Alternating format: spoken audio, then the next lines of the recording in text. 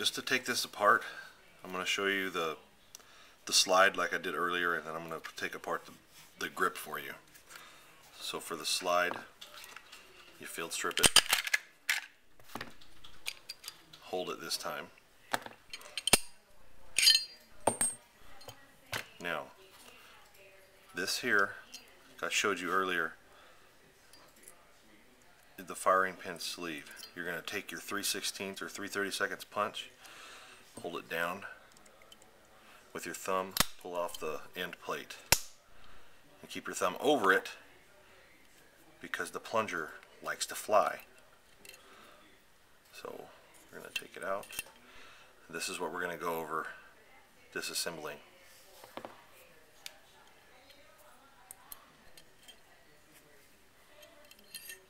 You may or may not want to take that out, but when you do, put it inside your little tape roll. Firing pin safety. If you want to take your extractor out and switch it like I talked to you, push it in, pull it right back out. Then this should either come out, and the spring should be captured, but if the spring is not captured, then it has been replaced by a previous owner and you just need to take extra caution because it will not capture itself. See how it stays in? Anyways, there's that.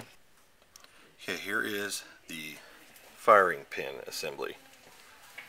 in order to take this apart and service it or clean it, pull the spring back with your thumb, and then you've got two little spring half plastic sleeves.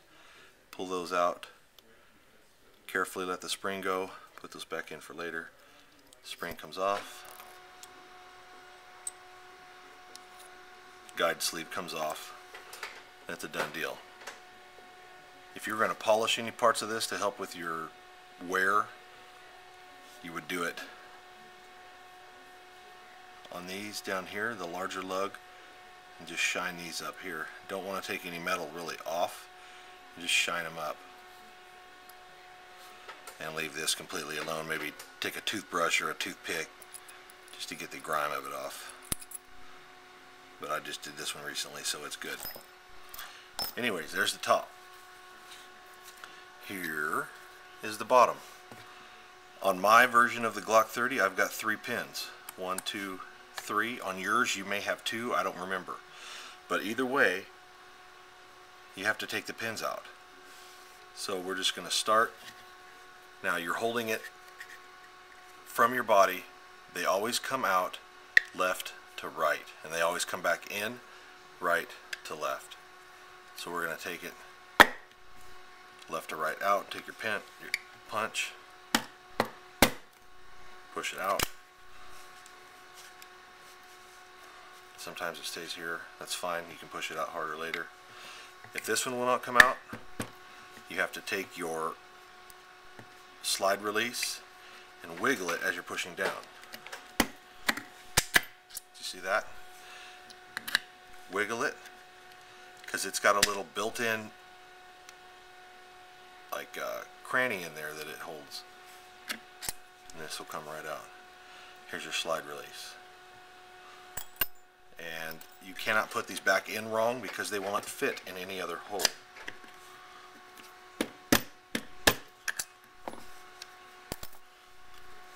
From here, all we have done is take out the slide release, the slide release retainer, the trigger screw, or the trigger pin. So that is free, but it is connected to the back. So we must take the back one out. Take your punch, push it out, should be really easy. And then you can grab this, and it's ready to go. But before you take all of that out, you have to take out the block. See how I just pried it in there underneath? Here's the block. Here's your trigger housing and all of these connectors. You might want to stop there if you're not familiar or comfortable with anything else. It's very simple to get out. Twist it, turn it. This spring is hooked right there. Parts on the trigger job to shine. You don't want to take metal off of here because this goes up to your firing pin safety and if it doesn't disconnect all the way the gun will not fire. So you can just take a, a, a very high numbered on a file or some 600 sandpaper, shine it up and then take your Dremel and polish it. You don't really want to do a whole lot with this. There's a radius here that you can clean up the same way and just bring it to a high luster shine. That's it as far as disassembly. Okay, reassembly. We're going to hook our trigger spring, pull it back over so it's in, pull it down, turn it sideways so it goes into this notch. See how it fits right in that notch? If you're going to take it, you have to put it in at an angle and then let it come back. Now this is ready to go back in. You can clean this up with a toothbrush or whatever you want, but just don't try to polish it too much except on this radius here and the one that's back inside here. And I'll show you more once I get to your house. You can put that in, slide it straight down. Done. It doesn't go anywhere. I mean, it's, it's done deal. You could even put this in if you wanted to, but there's no reason at this point. Okay, put your block.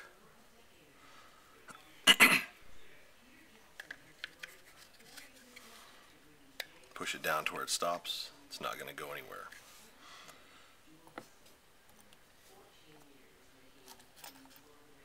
Now the three pins that we took out, two up front, there's a smaller one and a larger one and they both have recesses cut in them they're unidirectional, or excuse me, they're bidirectional. You can go either way. And there's no wrong way to put them in, except if you tried to go from left to right. You have to put them in the other direction. So you put the small spring, or the small pin, and that is the retainer for the slide stop release.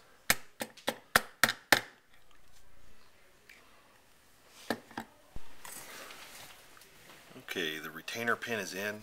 We're going to slide this slowly so you can see. So see, here's the retainer pin right underneath the block. It's not pushed in completely all the way. I'll show you why in a second. Slide this in in that recess right by the trigger.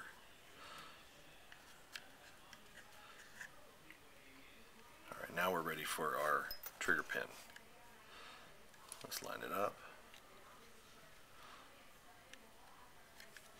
Sometimes it takes a little wiggling to line it up, but you can see it whenever it comes through.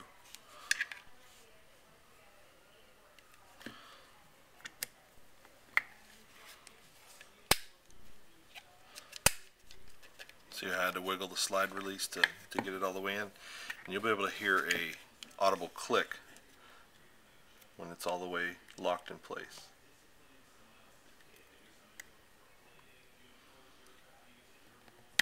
Do you hear that? So that's done deal. And the back one, you just push right in. Just try to center it up because it just kind of hold it, holds itself there. There's no tangs on either end of it. So here's the grip frame. Fully functional. Now we'll go back to the firing pin.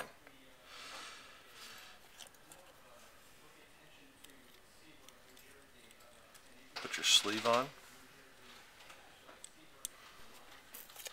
Put your spring on.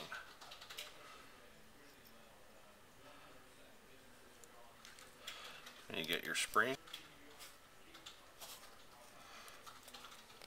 There we go. Each one has a half.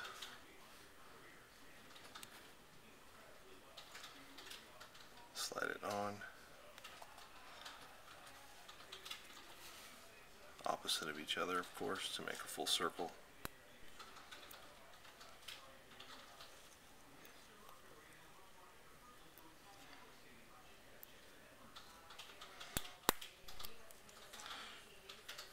Alright, now the one thing that I have learned that you need to avoid is the very end of the spring. It does taper down into a flat, but you want to rotate the spring a little bit away from the half line.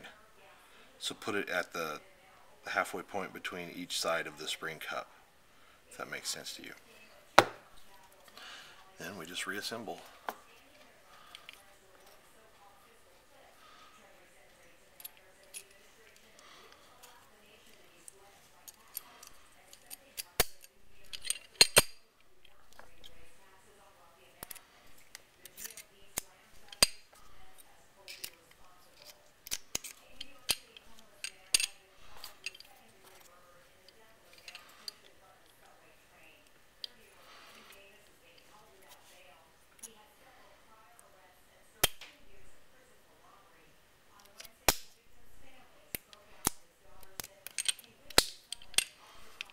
Okay, and the little test that I showed you, push down the firing pin safety and see if it shakes. Done deal.